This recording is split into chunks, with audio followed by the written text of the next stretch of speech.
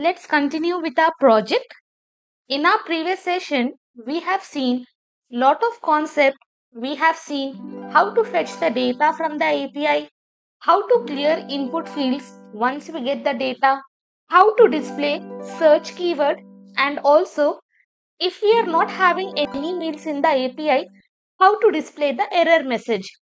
We have seen lot of concepts and I completely understand if you are doing this for the very first time, then it will take time for you to understand all this concept. So that is completely normal. We all have taken time to understand the concept, learn the concept and then try by ourselves. So let's get started. Now in this, what we are going to do, we are going to work on this single meal. If I just write here pizza, click on search, I will be getting this pizza image. When I click on this, I will be getting all the stuff related to pizza, what is present in API. If you see here, I am having name, I am having the category, image, ingredients and instructions, how it is prepared. So you can give any styling as I mentioned lot of time. This project is only to learn JavaScript concept, not to focus much on CSS styling. First thing, what we have to do, we should be getting the ID of that result. Now here, if I just search for chicken, let me just write different name. Rice, search. I am having two results for rice. When I click on this, only this rice, whatever image I am having, that image should be displayed. If I click on second image, the second image data should be displayed. How we are displaying only that particular data, how it is going to understand I have clicked on that. For that, we are going to extract something which is unique in this API. So that is ID. In this API, what we are using, ID is unique for every individual element, for every individual item. So we are going to access that ID and using that ID, we are going to display this single meals. If you have not watched previous section, I suggest you to watch the previous section because in that we have fetched the data from the API. Now in that data, we are going to fetch the ID and we are going to display single meal. I will come to my project.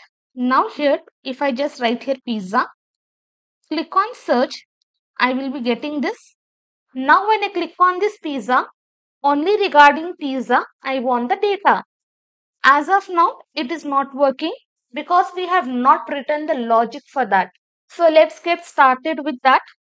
I will come down. Below this submit event listener, I am going to write one comment. I will just write here single meal click. Now on what I am clicking, you can see this is my entire div container which is having my image and meal info. So I'm just going to access this variable where we are accessing our meals.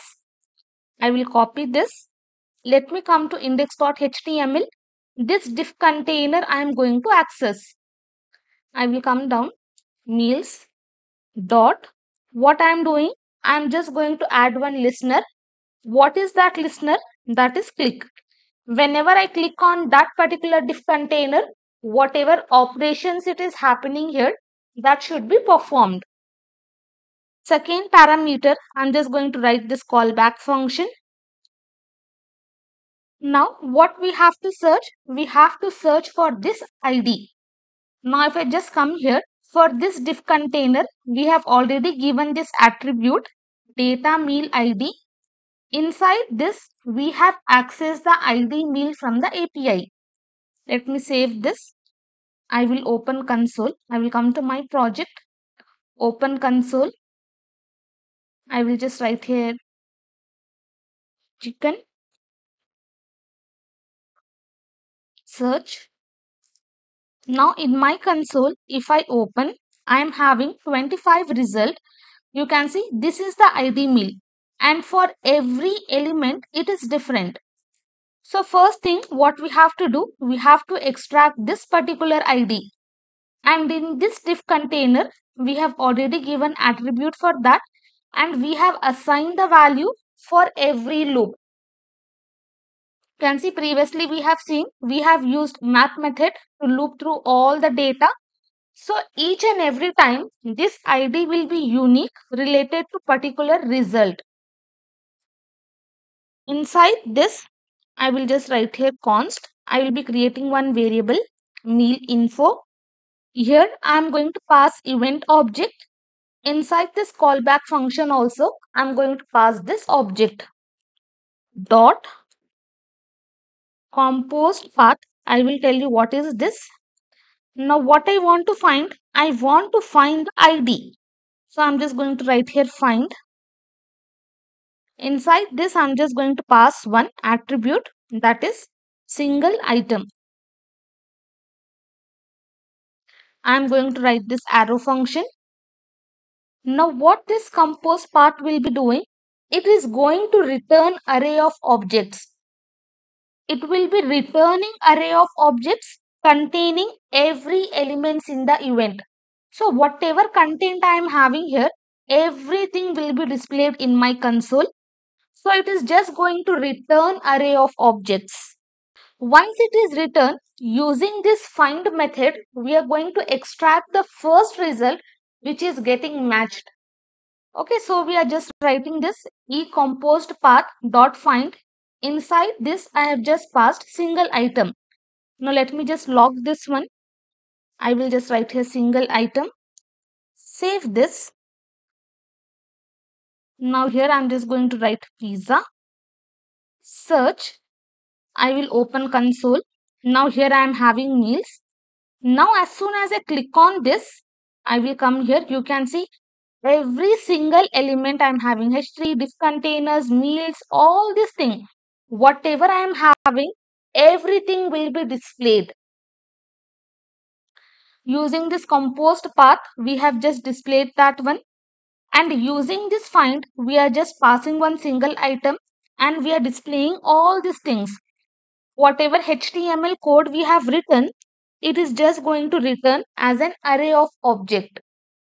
Now what I want to do, this is the div container which is having our ID attribute as well as this class.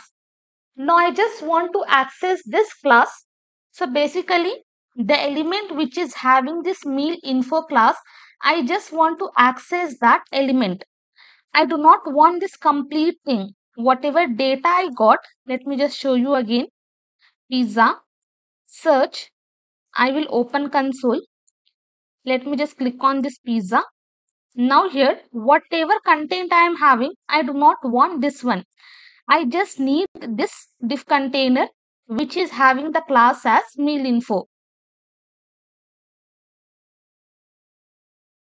I will just comment this out. Now here, I'm just going to search for this. If my single item dot class list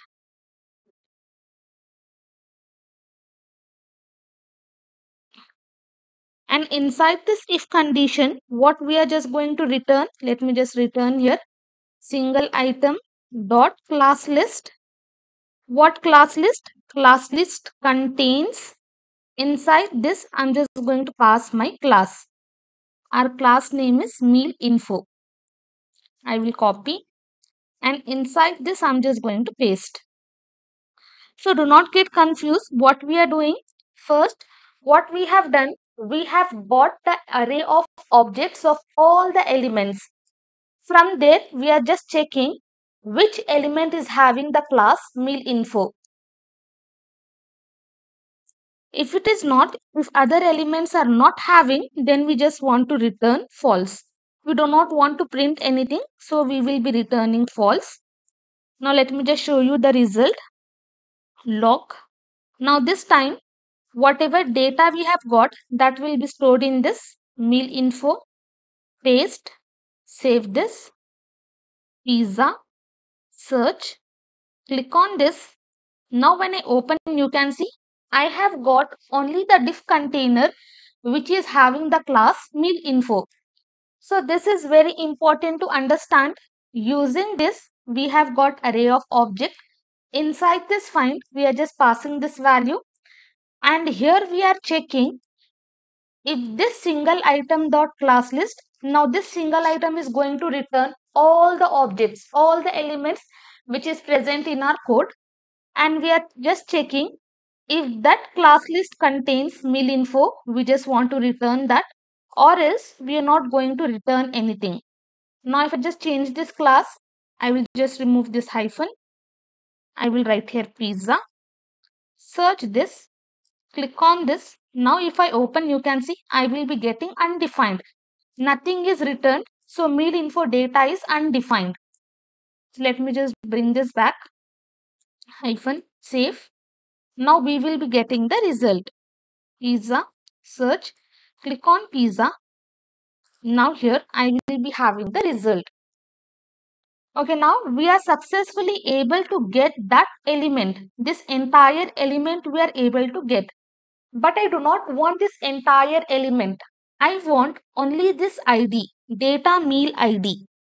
So for that, what we will do, we will write here if condition meal info. If it is true, that means if we got some ID, let me just remove this. From here, if we have some data inside the meal info, that means this condition will be true.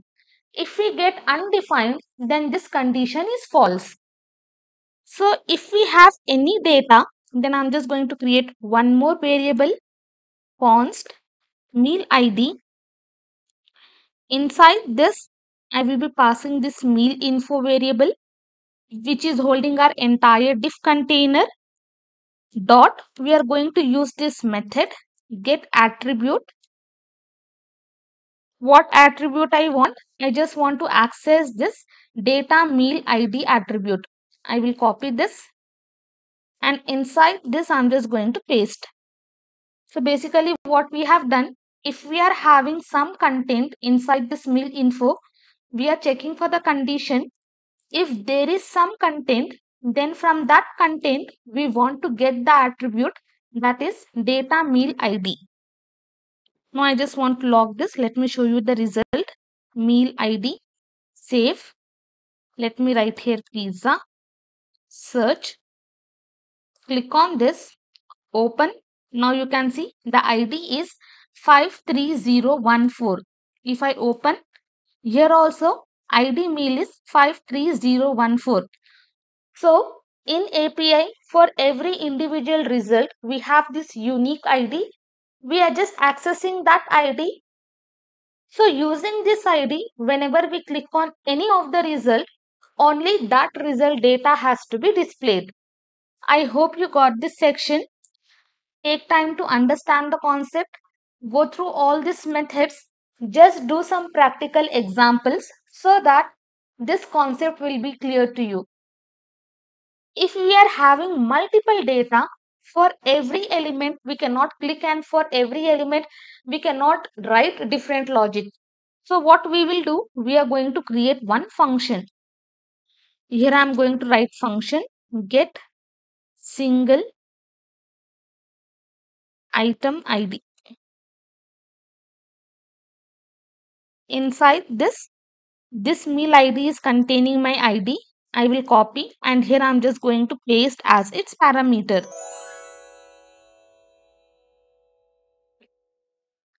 Below this where we have written our fetch, below this find meal function, I'm going to create this function, function to get meal ID.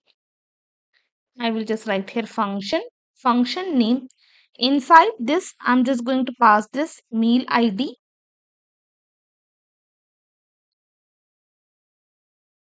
From here, we are just getting this meal ID.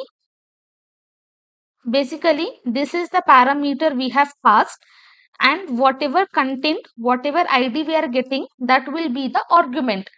And using this, we are just displaying the data. So for that, I'm just creating this function. I will just come to meals API. I will open this. Inside this, if you see, we are having lookup full meal details by ID. So using ID, we are just getting the data. I will copy this link and here I'm just going to write fetch. Inside this using backticks, I'm just going to paste. I will remove this. In place of this, I will be writing dollar symbol and here I will write meal ID. For every different click, we will have different ID. And here I'm just going to add HTTPS. Now what this fetch will be returning? Fetch will be returning the promise and this response I'm just going to convert into object. I will just write here response.json. Let me just show you. I will just log this one console dot log and inside this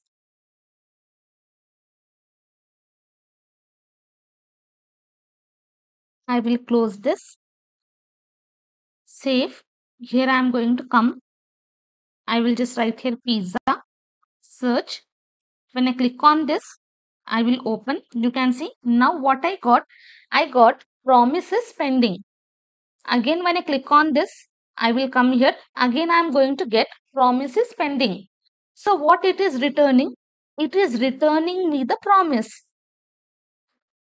I will just remove this. Let me just close here second then then again whatever data we got we are just going to display that data. Let me just log this. Console.log and inside this i'm going to pass data.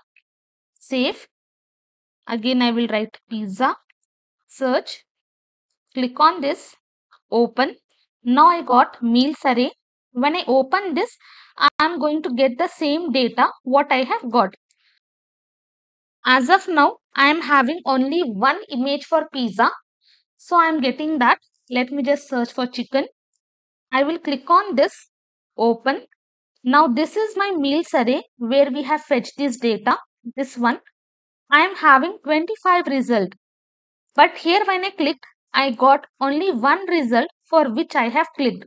I have clicked on this chicken congee. You can see that is displayed. Again when I click on this, open again I will be getting different result. Let me just come here. You can see again I will get different result for that particular meal. Whichever I have clicked, only that result I will be getting. So using this then method, we have just extracted the data for which item we have clicked. Let me just revise what we have done. From here, we are just getting array of objects of all the elements from that, we are just getting the element which is having the class meal info. If it is not having, then we are returning false. And whatever info we got from that, we are just accessing the attribute and we are just storing inside this variable. And we have just called one function in which we are going to pass different IDs as its argument. And here we have created the function. We are passing this parameter. We have called this fetch method. And again we have used the link where we are just passing the id then using this then method we are just getting the response.